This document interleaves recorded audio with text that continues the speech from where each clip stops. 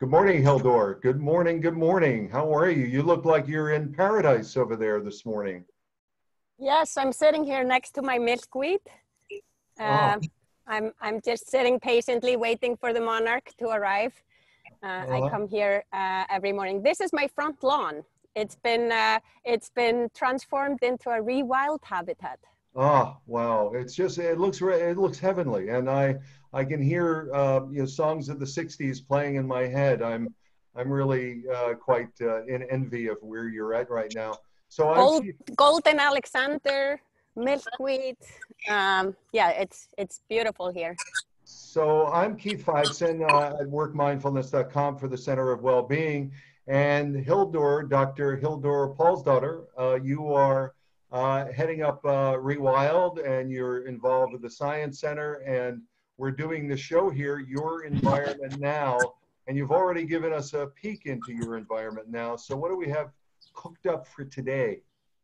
Yes, yeah. So I, I'm on the board of the Science Museum of Long Island. Um, and we are pleased that we can actually offer in-person camp this summer uh, small group. So I, I just want to start with that. But on that note, in terms of education and especially environmental education, I am pleased to introduce my dear friend and someone I respect uh, tremendously, Ranger Eric Powers from the Center of Environmental Education and Discovery. He speaks Owlish. I think that's like the most impressive. I, I will I'll always um, refer to him because he doesn't like the idea of playing a recording because he doesn't want to uh, mess with bird life like that. But he wants the owl to understand that this is a human trying to speak to the owl. Owlish. Owlish, is that right? Owlish, yeah. What a he, hoot. What a he, hoot. He talks to owls. And I, I think that's a good way to start. But I'd love to know how to support his work um, in terms of environmental education.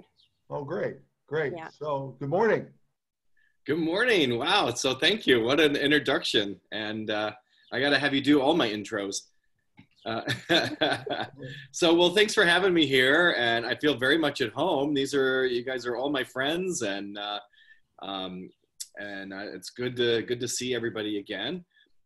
Uh, what, uh, what I've started here is Seed we planted a seed, and uh, but it's spelled a little differently. It's spelled with a C, and it stands for the Center for Environmental Education and Discovery. So um, uh, my name is Eric Powers, and I'm a wildlife biologist and a uh, uh self a, a self um, uh, self-appointed um, nature center director and i really have found that my skill set is is perfect for running a nature center um, and it seems to uh, uh, mesh very well with my ADHD and my OCD and all those things, mm-hmm. and um, helps me to run a very busy and flourishing nature center.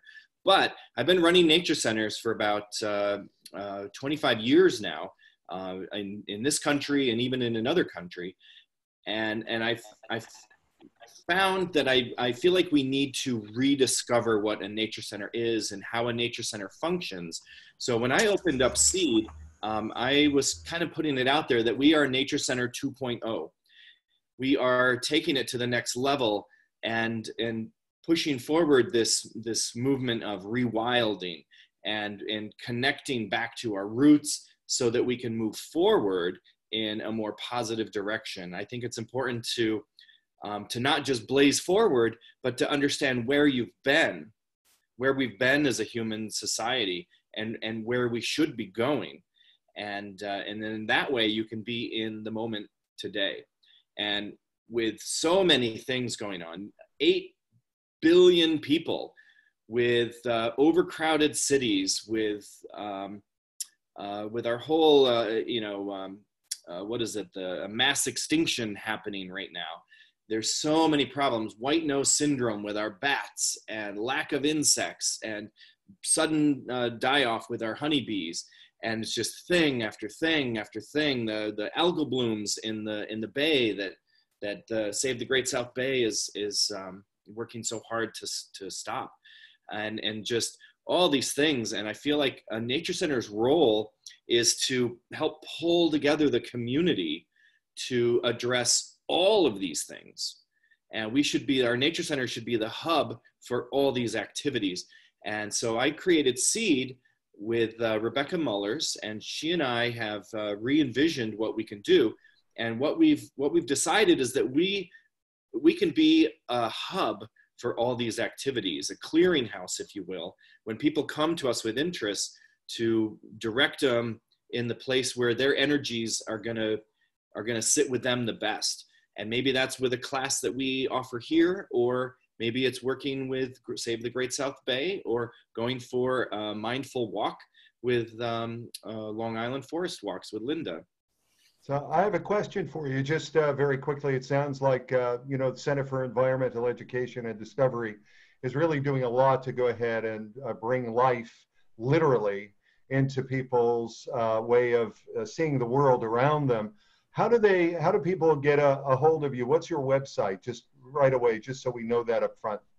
Yeah. So our website is uh, seedli.org, and we spell seed with a C. Right. So C E E D L I dot O R G. So you're a nonprofit as well. Yep, we're official 501c3. Um, uh, we're also a little different in that we have an amazing board of directors that are very hands-on, very active.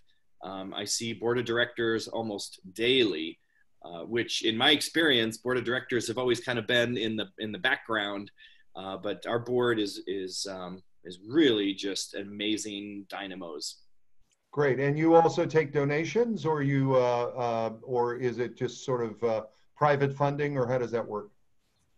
Uh, yeah, so um, uh, unfortunately, you know, to start something like this, you would hope to have an endowment and have a few million dollars under your belt before you uh, undertook this endeavor. And we did it completely wrong, or whatever, backwards and we got the center. We, it's just been a grassroots effort to, um, and like-minded people really that believe in our mission and believe in working together, believe that um, we're going to solve our environmental crisis by coming together and not by doing our own individual thing. That um, that we see our our community as a as a much greater thing. That that if I if I um, pull out all the invasives out of my yard and and go organic and native, that that has a benefit for the greater community. And and can you please share with us your location and why you picked that location? Yeah. Well, we did land in a sweet spot, I got to say. There was an abandoned mansion in the hamlet of Brookhaven. So we're on the south uh, we're on the south shore uh, right on the Great South Bay, uh, right next to, right in between Bellport and Wertheim uh, National Wildlife Refuge. We are on 76 acres of property um, in a big mansion. And now, granted, the mansion does need some uh, renovation before we can um, open the building up to the public. But um, but the grounds are open. We're now converting the grounds back to uh, ripping out the invasives and converting it back to natives. Um, and so we can start having um, uh, like uh, our friendly foraging walks to learn what you can eat out here, how to make medicines from our forest and our fields, um, and how all these things, you know, should be able to uh, support us, uh, you know, physically uh, in, in, life. So, Eric, a question: uh, What percent of the property is invasive and what native, and, and what are the top three invasives that you're fighting? Yeah, so I think we're dealing with about um, out of the 76 acres, we probably have about I would just a guesstimate. I haven't done a, a uh, an exact census, but I would just say 25 to 30 percent of our property has invasives on it. Our top mm-hmm. three invasives are the um, the euonymus, the burning bush, terrible. The um, uh, the bla- is it black spiderwort? Am I getting that name right? It's a new one on me, but we'll kill it anyhow. Yeah, it's uh, it's a spiderwort, and uh, it's highly invasive uh, in our grasslands and uh, in the. I know mugwort, but. Uh, right. Yeah, mugwort is not has nothing on this one. Oh boy. and um, and then the third one is probably bittersweet. That's That's bittersweet. fun. yeah. That's bittersweet, yeah. I, I, I, I uh, who is on your shoulder there? I, I like Yeah, your. this is one of our animal ambassadors. So, um, uh, so you asked where we get our funding from earlier, and uh, we we get our funding from donations. We rely heavily on donations, but also for the programs that we teach. We go into schools all across Long Island, from Manhattan to Montauk, and and uh, I got to tell you, it's it's um, we have amazing programs getting kids involved and hands on and a lot of it revolves around our animal ambassadors.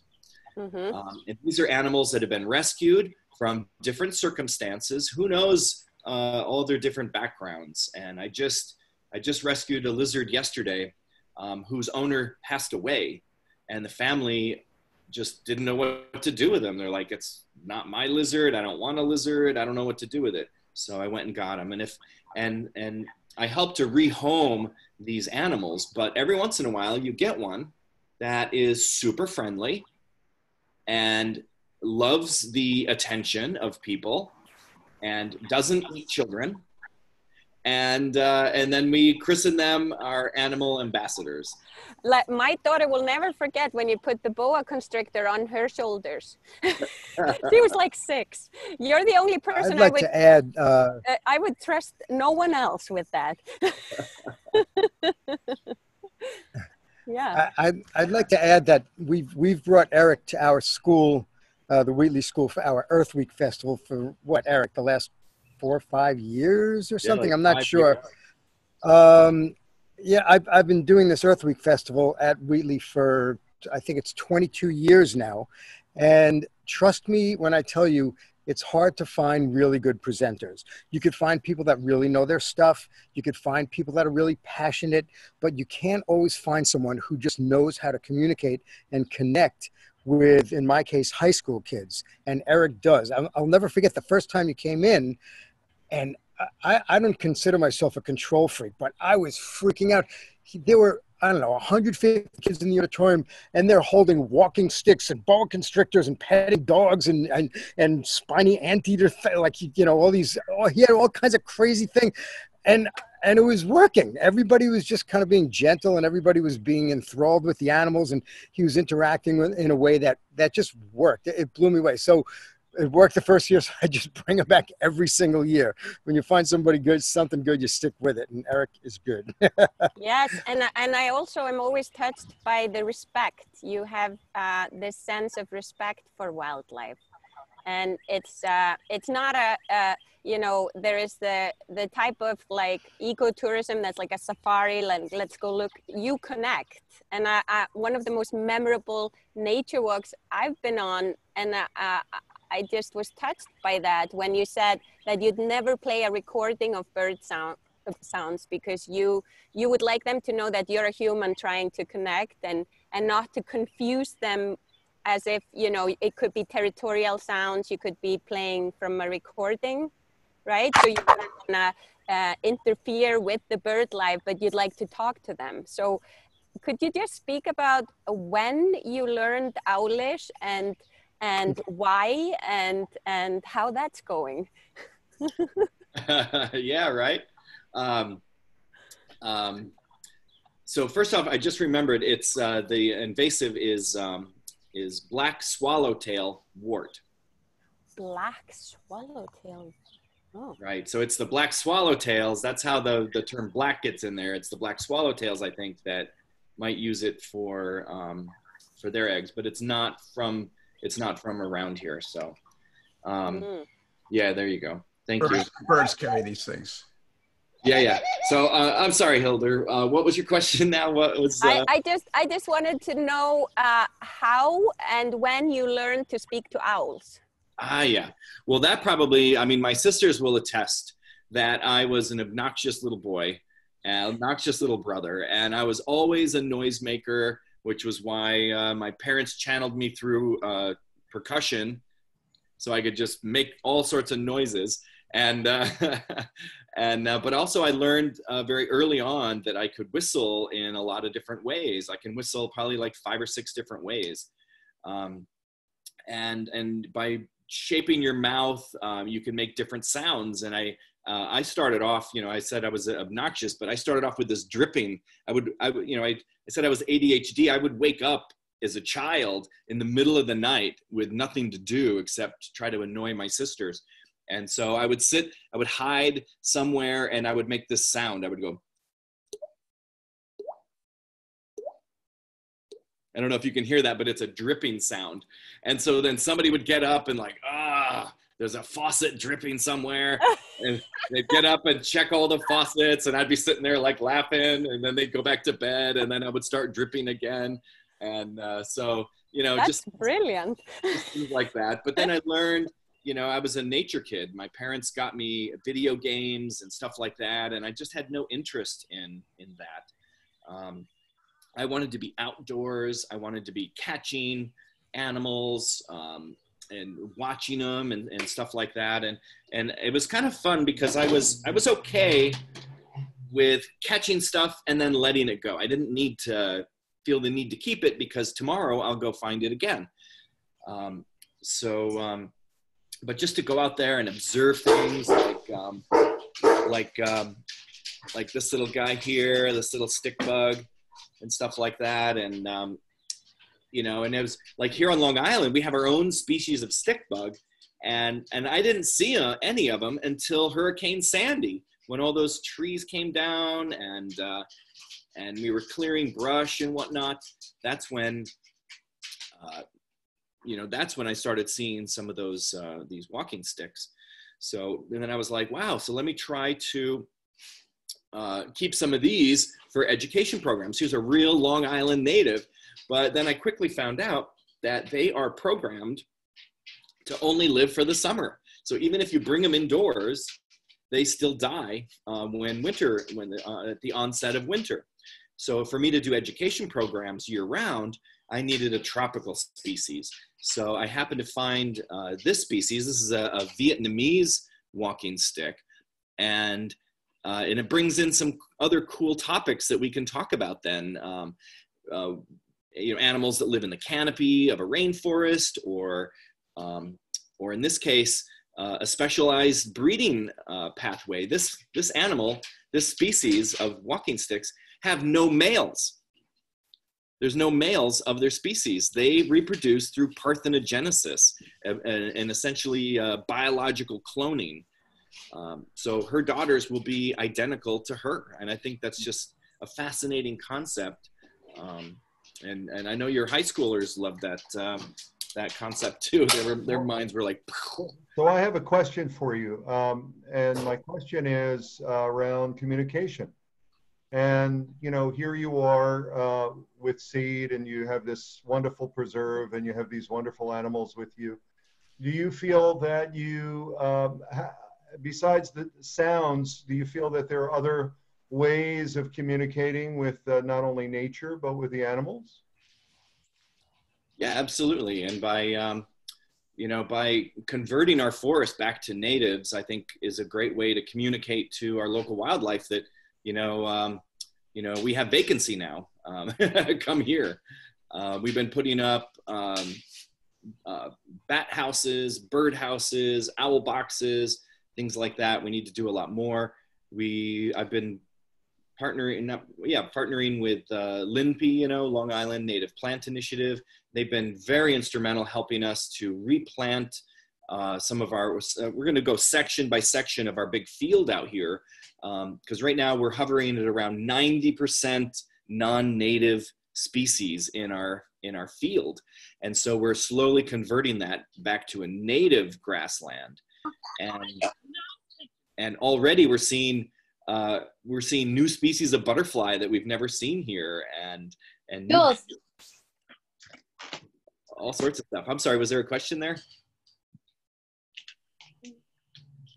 And here's Lovey. This is she's another rescue. This is a um, an albino uh, collared dove that we use for education programs, and she's fully flighted. So she often takes off uh, for a spin around the classroom uh, when we go in and all. But um, it, has been interesting that um, you know I've had some criticism in the past that you know we're exploiting the animals or you know they're not it's not natural to uh, basically stick them in a in a travel box and take them from class to class and be handled so much. Um, and it's always been um, hard to describe and put into words that you know that these animals enjoy this and that this is this is their their life and and it goes back to you know that when you have a pet it's uh, it's not just food and water and housing but it's also love. You know it's it's these animals need a, a, a partner a, an interaction a, family if you will to be with. And even my snakes and my lizards and uh, turtles and tortoises and they all um, and look at lovey. She's snuggling here with my with my hand. She just she loves to smush her face into my fingers and snuggle you know and if i don't do this every day she's lonely and so we um uh and so now though during this shutdown during this pandemic uh, we've been on lockdown for you know as long as everyone else and I've noticed a change in the animals, honestly, in my animal ambassadors. And I would have to describe that as depression because they're not getting out, they're not interacting. And now I can feel like I can um, finally say uh, to any critics, I'm like, I saw a noticeable depression when we weren't using them. So these animals really have, um, you know, really do enjoy getting out there and showing us what they're all about. Right. So by the same, but, I'm sorry, by the same token, uh, I've noticed a, a lot of, a lot more birds in my property. It seems like as we calm down, uh, na- nature amped, amped up a bit. Are you seeing more birds? Yeah, well, um, um, honestly, I can't say because I've uh, um, I, I'm pretty much out there almost every day, anyways, um, even before the pandemic. So I, I feel like I'm seeing um, still the uh, uh, same numbers of birds. Honestly, um, what I feel like though is that there's uh, I hear a lot of people saying that though that they're they're seeing more, and I think it's just that um, people are able to take a breath and a pause and look around. And I think people are noticing nature. And, and I think something good that's come out of this is that people are starting to really appreciate their outdoor spaces and, and, um, and look forward to going out there. And, and people have been coming by here and, um, and hiking our trails and they're like, wow, this was great. We saw this, we saw that. Um, have you ever seen that before? And I, and I'm like, well, yeah, um, that's it's always been here. And I'm glad you're seeing it though, because it's it's special for you, and that's and that's what's important. Um, so, but I don't have I don't I'm not currently doing really any um, any scientific studies. Uh, I've just had to focus all my efforts on our education programs and our fundraising efforts to um, to renovate this house so that we can open it up finally to the public. Uh, the final phase of, of construction on this house is actually going to be opening up a retreat center. We're, get, we're saving 10 bedrooms, so we'll be able to house up to 20 people at a time here to do whatever we want to do. Do we want to bring in uh, shark scientists for a month and we can house 20 of them here and do an in depth study of our local sharks or something like that? Or we can bring in special people and and focus on the uh, the red tides, you know, and uh, try to clean up our bays. We can we can have these intensives uh, if you want to do um, a rewilding weekend. People could come from all over the tri-state area, and actually we have international airport um, in 20 minutes away.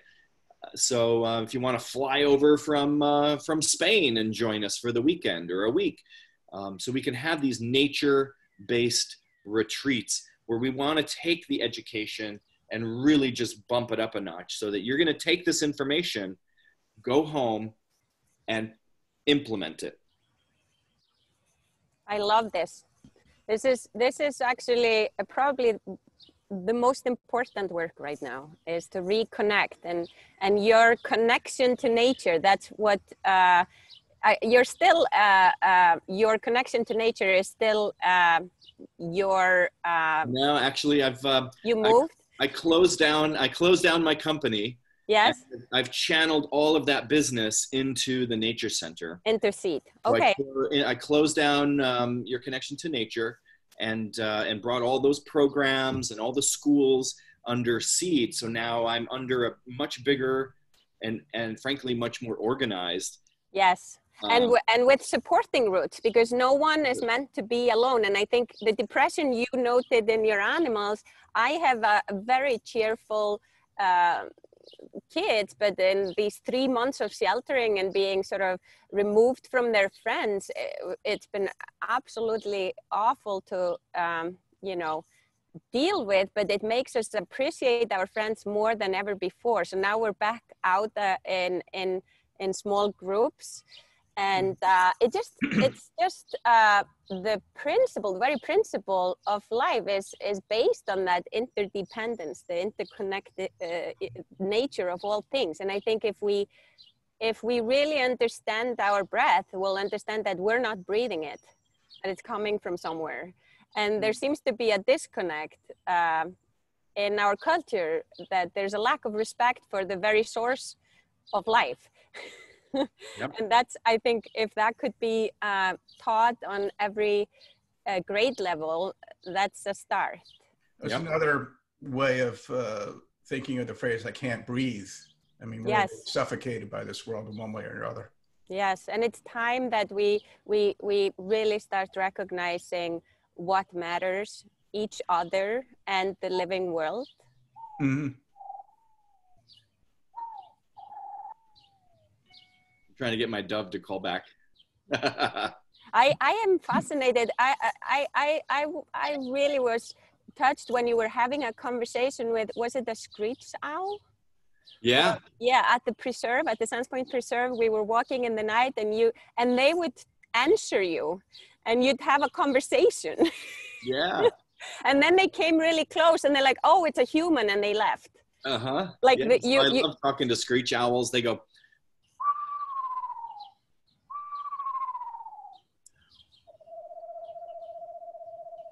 like that. Yeah, beautiful. look, I got Lovey to come. Yes, it's like she's like the, it, it just it, it, Wait, that, that's that's dangerous if the dove comes when it, when it's an owl call, isn't it? No, I, I was calling her earlier and she came. Oh, I, I know. Did the owl call, but she has no fear of, of, of, the owl call. That's and that's dangerous, but probably because her genetics are programmed for uh, Northern Africa and not uh, North America. And, and I like talking with children about our common ancestors. So really actually recognizing that the reason why we feel good in nature with animals is because we're actually relatives. We're just distant relatives. So we're all family. We're, we're, we're closest of kin because we're human, but then pieces of, of my DNA I can find in common, shared in common with uh, almost all of land life, right?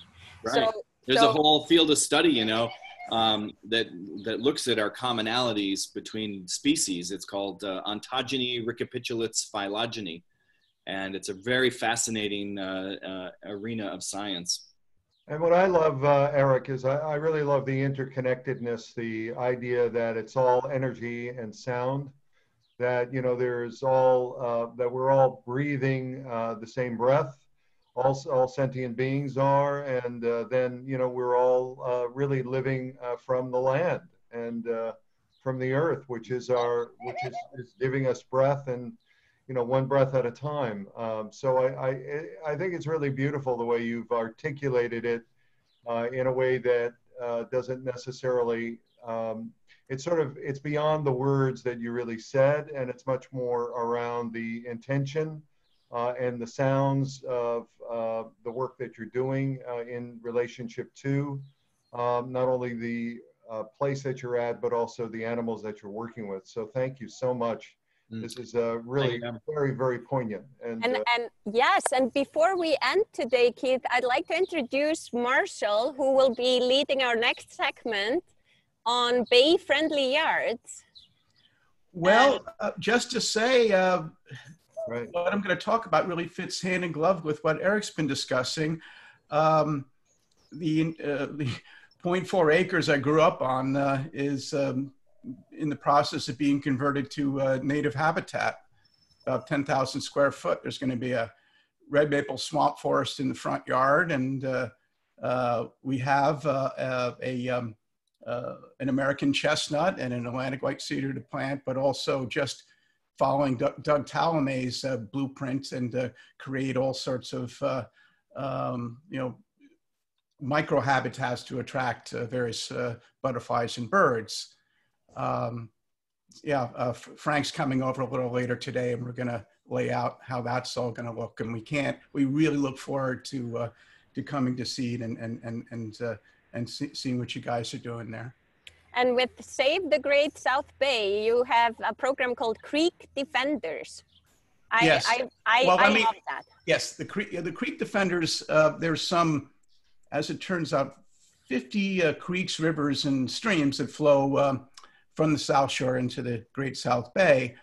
And uh, we um, promote uh, local stewardship. Uh, there are some 16 communities through which these uh, 50 uh, creeks, rivers, and streams flow. And for each of those uh, 16 communities, uh, uh, we have or will have creek defenders.